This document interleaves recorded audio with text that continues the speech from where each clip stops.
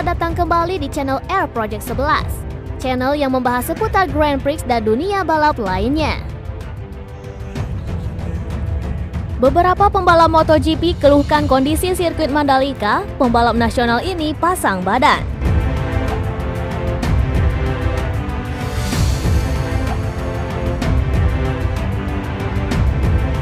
MotoGP Lovers, tes pramusim MotoGP 2022 di sirkuit Mandalika telah rampung digelar pada Minggu 13 Februari 2022.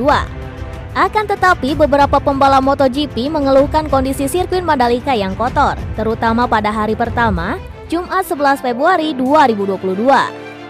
Namun, pembalap nasional Rifat Sungkar memberi pembelaan untuk sirkuit Mandalika atas kritik-kritik tersebut. Menurutnya, kondisi kotor sirkuit Mandalika wajar karena ini merupakan trek baru yang masih butuh waktu untuk membentuk ekosistem di lintasan. Sebagaimana diketahui, sirkuit Mandalika memang baru selesai.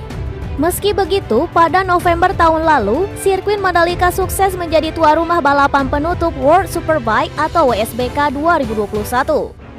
Namun, sorotan lebih besar tertuju saat sirkuit Mandalika menjadi tuan rumah tes pramusim MotoGP 2022. Bagaimana tidak, MotoGP adalah kelas terelit dalam dunia balap motor. Banyak pihak berharap sirkuit Mandalika bisa memberikan kesan positif kepada pembalap MotoGP yang pertama kali mencicip lintasan sepanjang 4,31 km tersebut. Para pembalap MotoGP memang menyukai sirkuit Mandalika, tetapi mereka juga punya kritik.